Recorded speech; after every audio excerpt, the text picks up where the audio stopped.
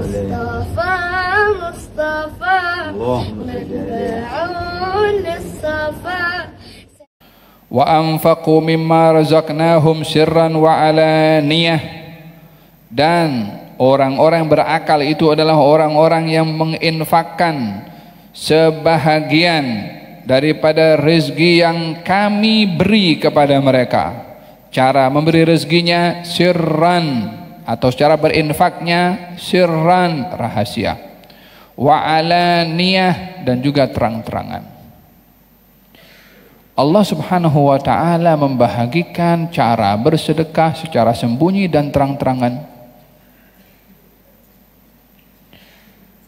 Kalau demikian orang kalau bersedekah terang-terangan boleh atau tidak? Boleh.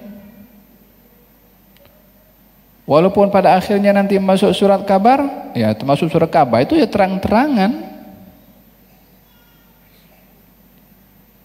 Ay, kalau begitu dia riak, Ay, kalau setiap orang bersedekah terang-terangan itu ria, kenapa dalam hal ayat ini Allah bagi tahu orang berakal itu orang berinfak secara sembunyi dan terang-terangan.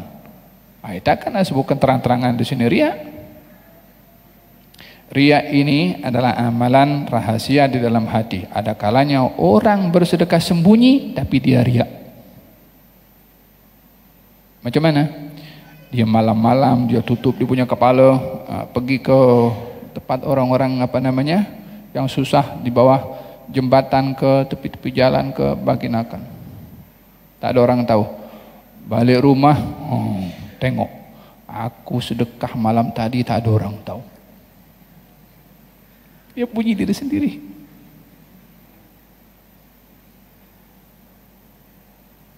Dengan orang bagi terang-terangan kepada orang tepi jalan itu bagi masuk surah kabar tak apa. Tapi dia ikhlas.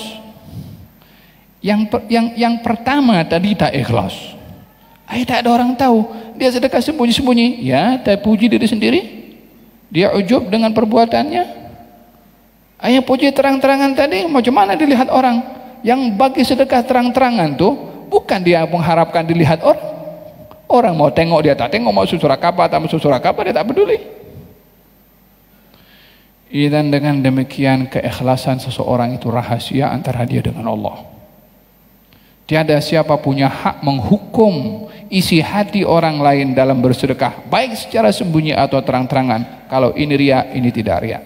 Eh, siapa yang, kenapa anda mendahului otoriti Tuhan untuk mengetahui isi hati orang sehingga menghukum orang lain ria atau tidak ria? Daripada mana anda boleh tahu? Jibril datang kepada anda bagi tahu nih kalau tak, tak ikhlaskan.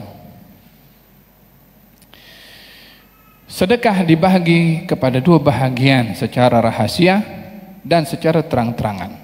Ada kalanya bersedekah rahasia lebih baik daripada terang-terangan, ada kalanya bersedekah terang-terangan lebih baik daripada bersedekah secara rahasia. Walaupun pada umumnya sedekah rahasia itu lebih membawa kepada keikhlasan bagi seseorang yang bersedekah karena tak ada sebab untuk dia mencari perhatian orang uh, untuk dipuji melainkan hanya dirinya sendiri dan lebih mudah dia untuk mengawal dirinya daripada mengawal orang, orang lain bila melihat kepada dirinya ketika berbuat perbuatan tersebut. Dalam Al-Qur'an Allah berfirman uh, apa itu? Hmm, in tubdu sadaqat fa ni'ma hiya wa in tukhfuha wa tutuha al-fuqara fa huwa khairul lakum. Kalau kamu zahirkan sedekah kamu itu baik kalau kamu sembunyikan, itu lebih baik. Sehingga dikatakan sedekah rahasia lebih baik daripada terang-terangan 70 kali ganda. Tapi ada kalanya bersedekah terang-terangan itu juga perlu. Bahkan lebih baik daripada sedekah secara senyap-senyap. Macam mana? Kalau ada orang. Dia adalah orang yang kaya raya hidup di kawasan rumah orang-orang susah miskin. Orang-orang miskin lalu rumahnya, wih, keretanya, rumahnya, kemudian dia apa, apa kemewahan. Kalau orang kaya tadi sedekahnya senyap-senyap, orang miskin yang ada di sekelilingnya itu tak tahu kan. Orang miskin kata ini orang orang kaya kedekut. Dia tak bagi, tak pernah nampak dia keluar duit. Dalam hal ini mengganggu keselesaan hidup bermasyarakat dengan kawasan orang-orang miskin. Ya, orang kaya seperti ini supaya tidak menimbulkan negatif spekulasi, dia kena bersedekah, tunjukkan dan diberikan kepada fakir miskin bukan untuk mendapatkan pujian tapi mengelak pandangan buruk Uh, perspek uh, uh, uh, apa buruk sangka agar supaya tidak berlaku kepada dirinya. Yang seperti ini boleh bersedekah dengan terang-terangan. Bukan ingin dipuji, tetapi ingin mengelak perkara buruk berlaku. Yang kedua, digalakkan bersedekah secara terang-terangan bila bertujuan mengundang orang lain bersedekah yang sama. Contohnya apa namanya dia? Apa namanya dia? Kalau apa uh, katalah masjid buat pengumuman uh, untuk untuk renovate atau memperbaharui barangan masjid contohnya. Kemudian meminta sumbangan. Satu orang kaya bagi tahu. Saya sumbang 50 ribu. Nah, dengan amountnya dia sebut. Saya sumbang 50 ribu. Tujuannya supaya orang kaya lain bagi 60 ke, 70 ke, 100 ke, supaya itu. Atau at least paling tidak berani untuk menyumbang karena dimulai oleh dirinya.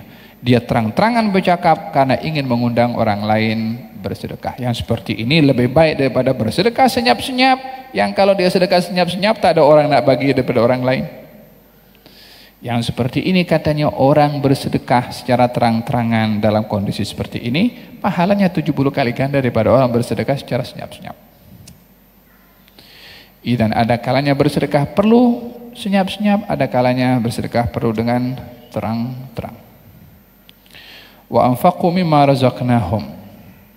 Dan mereka menginfakkan sebahagian daripada rezeki yang kami beri kepada mereka. Nah, di dalam hadis Nabi Muhammad SAW dikatakan bahwasanya sedekah itu boleh memadamkan murkanya Allah. Untuk kita dapat meraih ridha dari Allah adalah bersedekah dengan sedekah rahasia.